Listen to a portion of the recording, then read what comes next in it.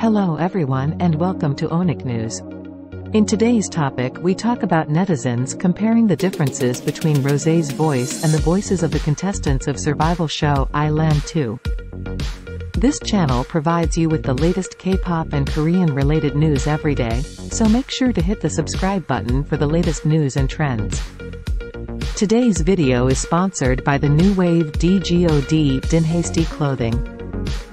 Grab their free shirts giveaway by following them on Instagram at Dinhasty Clothing and comment which shirt you like from their website www.dinhastyclothing.com. So let's get it started. Recently, K netizens gathered on a popular forum to have a heated debate about the theme song of the survival show I-Land 2, Final Love Song, which was held on April 4 by the contestants of the program alongside Blackpink's Rosé.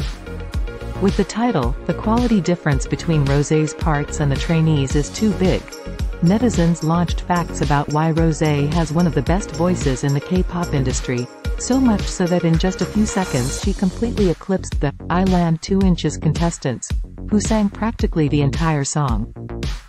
Although netizens were somewhat harsh with their comments, they made it clear that the trainees are people with talent and great potential, however they need to work even harder to strengthen their vocal skills if they want to earn a place in this competitive industry. What do you think about it? Please let us know in the comments. This video was sponsored by DGOD Dinhasty Clothing.